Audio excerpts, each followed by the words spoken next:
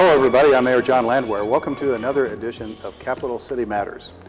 It's a time when we take about a half an hour and we talk about uh, some issues and things that are going on in the community, and we get to spend a little more time on them than, than maybe you'd see in a normal news broadcast or even at a city council meeting or some other type of forum.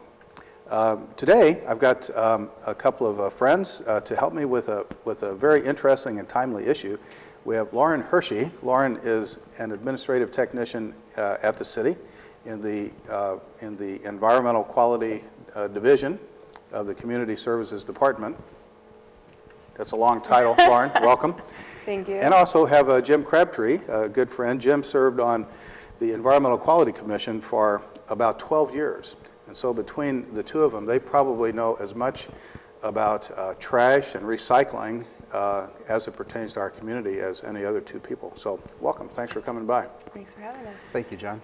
You know, sometimes we, we get, we get um, uh, the, we get kind of fixated on, on the topic of the day, and we're, we're, we're going to talk about our, our solid waste contract in a little bit, our trash contract, and uh, try to get some information out and get some history on that, on that issue. But really, uh, I've concluded that, that that solid waste agreement um, uh, is really part of a big picture. And that, that, that picture, especially in the past year or so, I think, uh, as far as I can tell, has really started to um, have, a have another several components. So what I'm beginning to see really is a community as a whole that's starting to get its act together with regard to a lot of recycling and solid waste issues.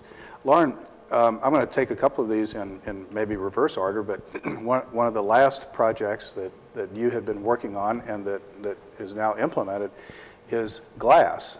Um, it's my understanding that glass doesn't work well with other waste streams because it breaks and it tends to, it tends to pollute the, the rest of the rest of the trash, makes it harder to handle and harder to sort and deal with. So glass has always been, it seems like kind of the stepchild of any recycling program.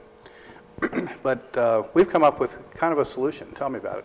We have. We are working with Ripple Glass out of Kansas City, and what we've done is we've set up two drop-off locations in the city. One is located at 722 Dix Road, where the old Allied Waste offices used to be, and the other one is on the Save-A-Lot parking lot. And residents and citizens and anybody who really wants to use them can take their food and beverage container glass there, um, dump it in the containers, and then take their bags and boxes home with them because we only really want the glass in there. And then when they're full, we take them to one location, and then Ripple Glass will come get them. And we have about 25 tons of glass. Our first load was 21 tons, so that's pretty good, I'd say so far. So that's 21 tons of stuff that would certainly have, have gone into the landfill because it's not going to go anywhere else. We, we, it doesn't fit into any of the other recycling schemes, right? Right, could have gone to the landfill. It could have gone as waste on the side of the road. So, and in all, we're helping to clean up the community too by providing outlets for glass. Now, we got those two containers, I think, because of a grant. We participate in the, is it the Missouri Solid Waste District? What's the official name of that? The Mid-Missouri Solid Waste Missouri. Management District. Those first two containers, actually, one we already owned and one was donated, and then we're getting ready to expand the glass through a grant. So we'll get two more containers. So we'll have a total of four drop-off locations throughout the city. Um, now, it's important, I think, to remind the viewers that, that there are certain types of glass that we really shouldn't be putting in those bins. Is that right? Right, no windows, no Pyrex or ceramics or windshields, nothing like that. Okay. Well, a- a- another thing and, uh, that, that has come up uh, recently has been uh, uh, e-waste. Um, may- I, I might ask Jim this. Um, um, we, we're a computer generation, and we get used to all kinds of PCs and hard drives and, and monitors, and we take them for granted.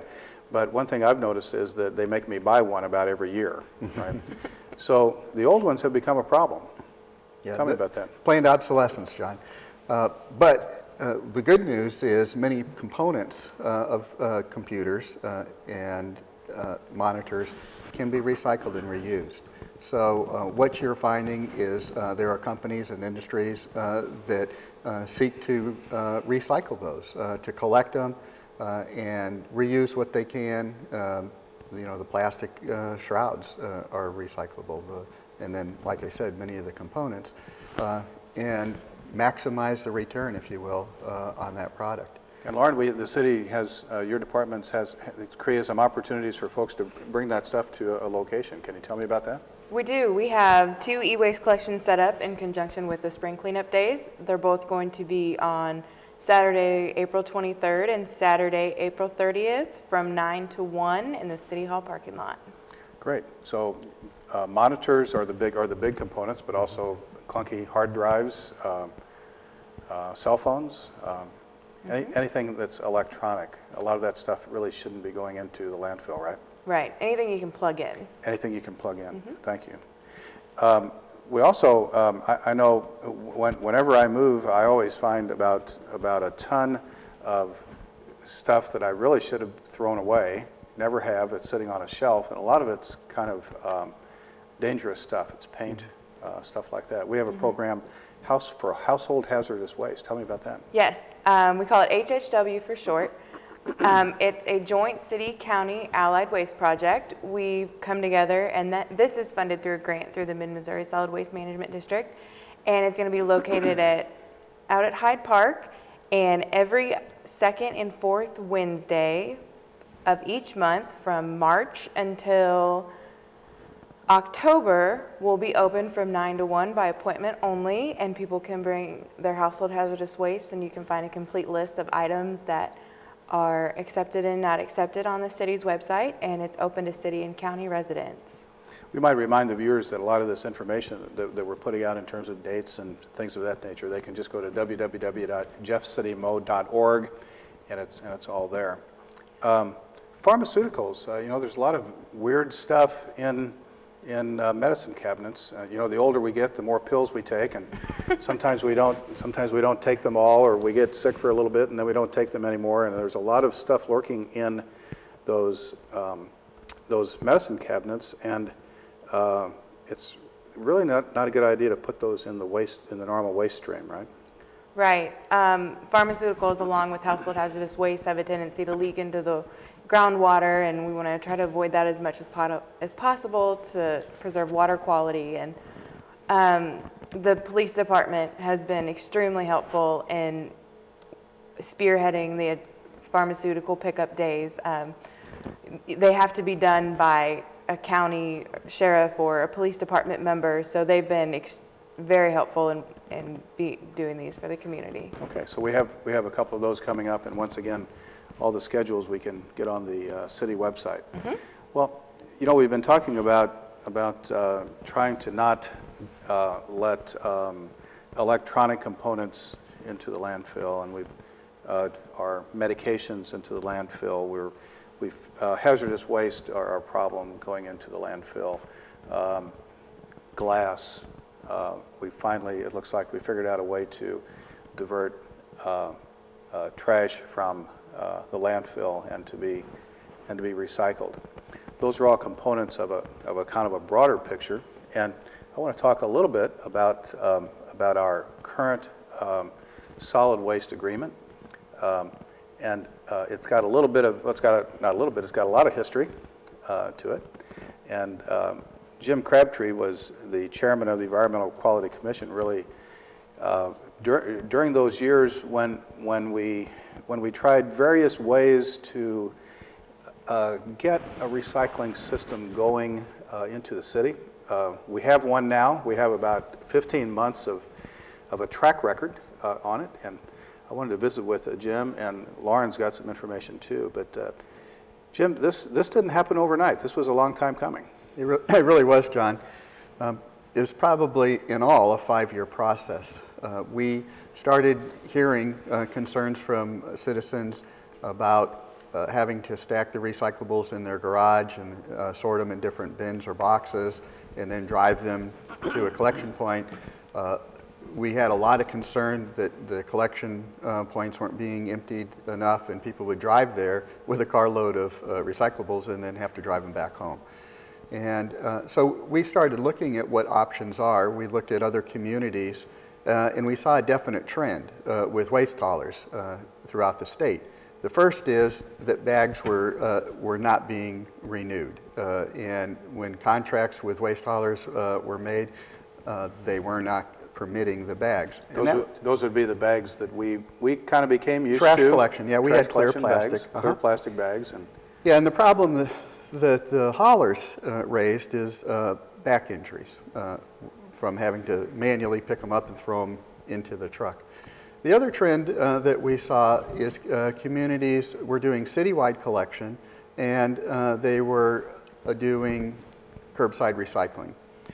Uh, We were surprised at how much of a minority the city of Jefferson was in uh, with the, I guess, subscription type service that we had and the taking your recycling to a collection point. Somebody, somebody, somebody gave me a statistic that, that's, that's kind of astounding. Out of, I think, 21 cities, our size Yes. in, in, in Missouri, excluding the, you know, St. Louis and Kansas City, but out of 21 cities our size, 19 of them have a, have a citywide service. Yes, yeah. And, and I think that's going to uh, move to a higher percentage, uh, to 100% uh, in probably the next five years. Uh, The other thing that, that we found in talking to Allied Waste is we were surprised at the uh, short life left on our landfill. At the time we started this, uh, you know, they were saying 14 to 15 years. And the, the procedures that you have to go through, as we all became familiar with when Fulton was struggling with trying to permit a new, uh, a new landfill, uh, are just tremendous, and the costs are tremendous. So, uh, you know, we started exploring avenues that would reduce the uh, waste line going into the landfill and meet the public's needs. Through the course of time, John, we did actually uh, three independent surveys to see what people would like. We also did a pilot program with uh, just under 300 residents uh, to see if this curbside recycling uh, and collection would be effective. And When we come back, we're going to go back in the history a little bit more. We're going to talk about um, how it's working. We have 15 months of a track record. So after a short break, we'll come back and we'll follow up on, uh, on that topic that everybody enjoys these days. We're going to talk trash.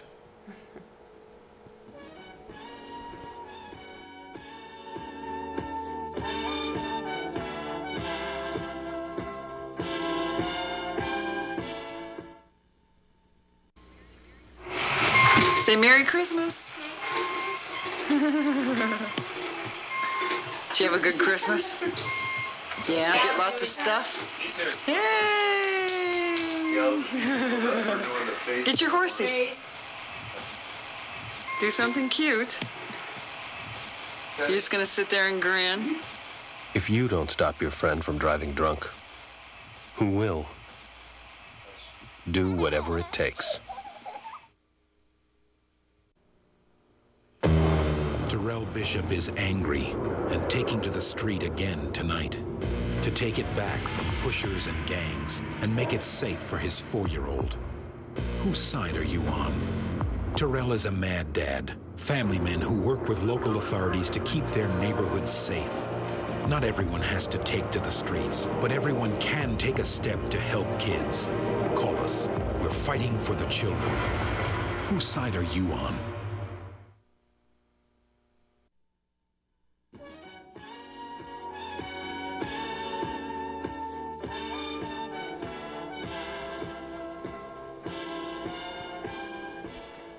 Welcome back to Capital City Matters. I'm Mayor John Landwehr, and uh, we were having a, a, a, an exciting discussion with Lauren Hershey from the city of Jefferson and uh, Jim Crabtree, who is a veteran at the Environmental Quality uh, Commission. And uh, we were talking about uh, interesting things, uh, all related to trash. And we started out the program by talking about all the things that we're pulling out of that landfill stream electronics, glass, household waste, uh, pharmaceuticals. And now, now we're centering on kind of what happens to everything else. Um, and Jim was giving us uh, kind of a history during his reign on the, not reign, during his participation uh, on, on the Envir- Environmental Quality Commission. About f- as, as many as five years ago, the commission started, started thinking about this contract that was coming up for renewal. Now, I'll go back a little bit farther. does anybody remember the blue bins? Do you remember the blue bins? It was a- do. It was an experiment in, in uh, curbside recycling. And it was voluntary, and, and if you wanted to, if you wanted to recycle, uh, I think the cost was $2 a month, and you got a blue bin. Yep. And, We did it. well, we, we, we well, I, I did it, y- you did it, but I don't think many other people did it. Well, and the other problem, John, I remember distinctly, it's an open bin, and you'd put your papers in one, your cans in the other, and on windy days like we've been having in the Ides of March, you'd be chasing around the neighborhood picking up your recyclables. So fast forward, three or four years ago, we knew that, that the uh, current uh, uh, trash contract was coming up for renewal. You had mentioned before the break, we knew that our landfill was, uh, had a finite life, and that life was getting shorter and shorter. And you were talking, uh, you made a great point about, we've, we've come to take that landfill for granted, and we have very low tipping fees. It affects residential rates and commercial rates a lot also. And we've become, I think, uh, I think a little complacent with the, with that landfill.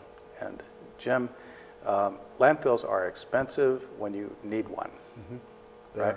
They're very, and this is privately owned, so thi- this isn't a given. So we have a landfill with a finite life, and every year that we can extend that life is, is another year that we can keep those rates lower. So, um, what did the city do back about three years ago? You mentioned a pilot project, maybe? Yes, we had a little less than 300 uh, residences. We tried to broaden the mix uh, in terms of uh, user types. And uh, we had a three-month pilot where we actually brought in uh, the bins. We worked with Allied and uh, so that they would pick up uh, a trash collection and a recyclable. Uh, It was two times a week, uh, similar to what we have now, but it was once for trash, once for recyclables. And the people within that study area at first were not very happy. Uh, there was a lot of concern, and we uh, had a lot of informative meetings to explain the process and, you know, just ask them to bear with us so we could test it. At the end of that program, people were literally calling up and demanding we leave both bins. Uh, you know, there was just a huge shift. And uh, the participation rates were in the 90 percentiles. And we found that those were skewed because the few people who didn't participate were in Florida. so, um, you know, we, we really thought it was a big success. Uh, and the feedback we got indicated a big success.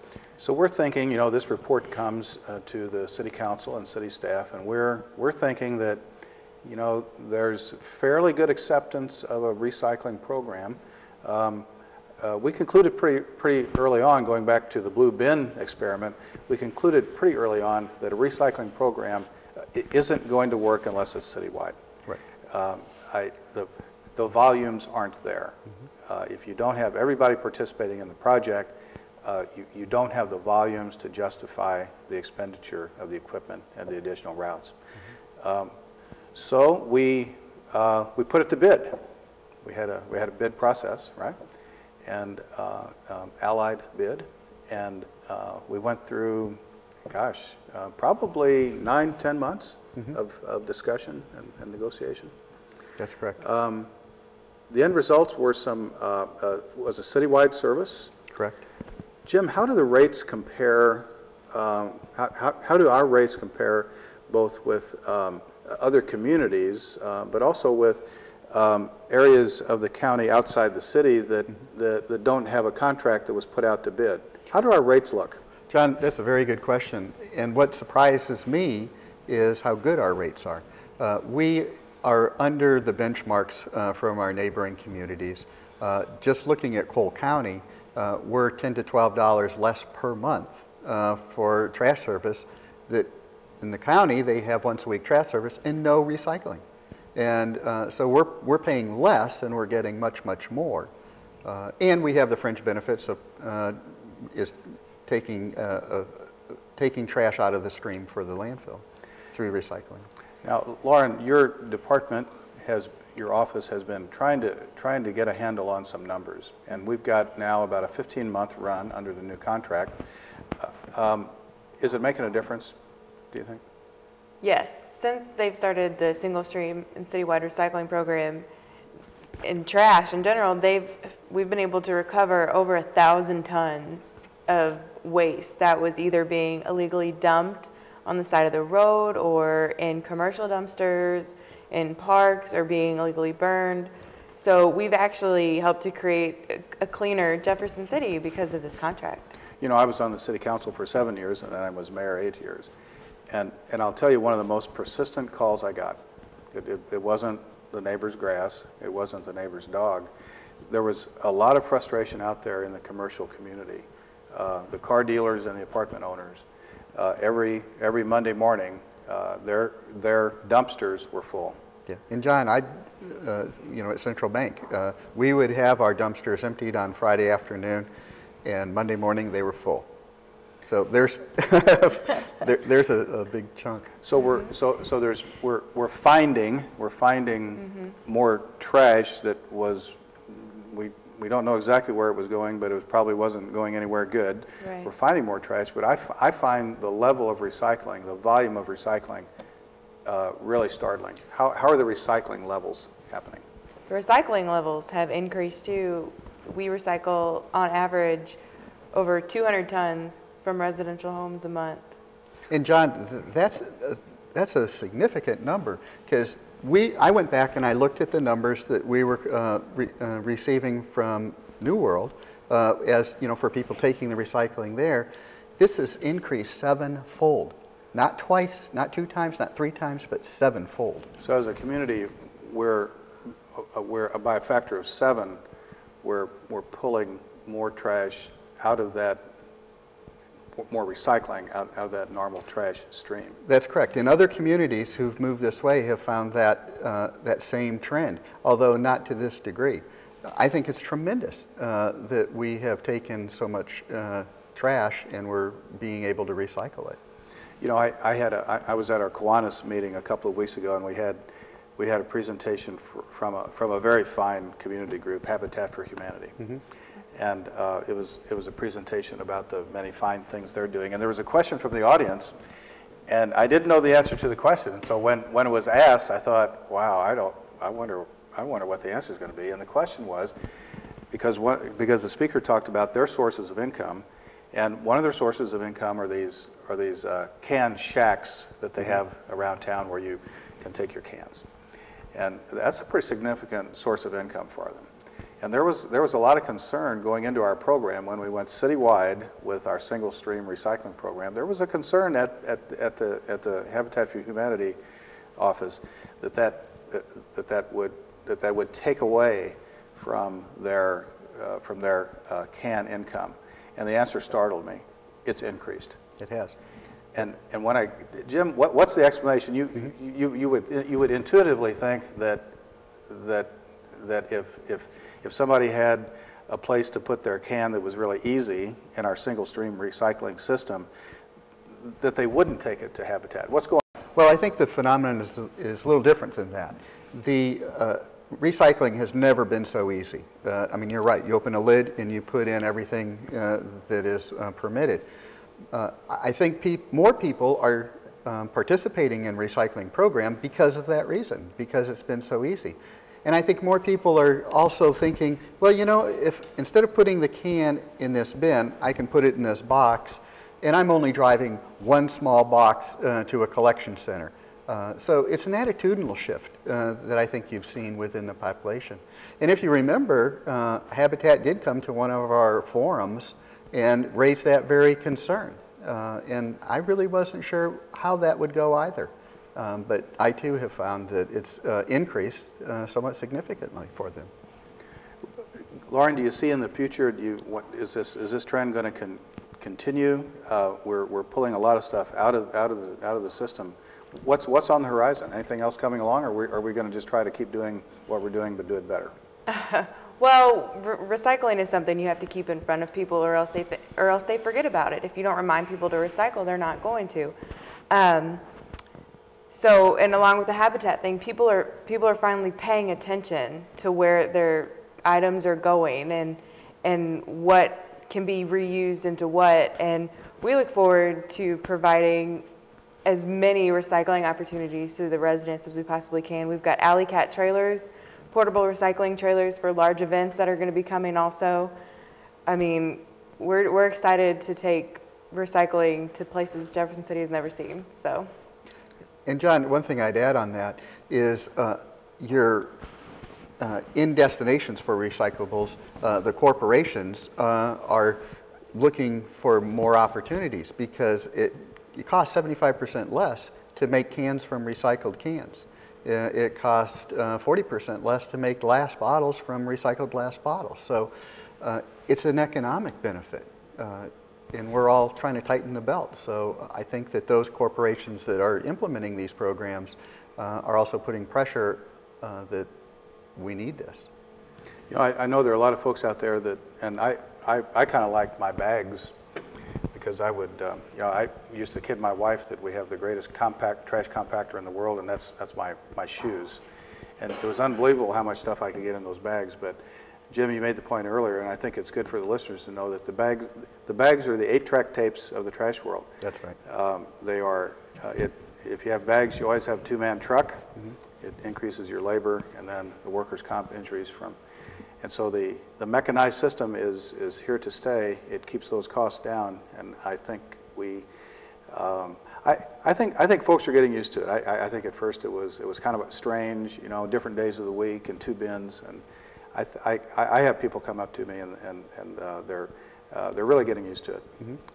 Um, uh, We've covered a lot of ground today. Uh, Lauren, Jim, thanks for coming. Uh, It's, it's a great topic. It's a topic that I hope the community uh, keeps after uh, uh, in, in the, in the next administration, and I'm sure they will. You guys have really been pioneers in, in helping us along, and I appreciate your efforts, and I appreciate you coming today. Well, thank you, Thank John. you.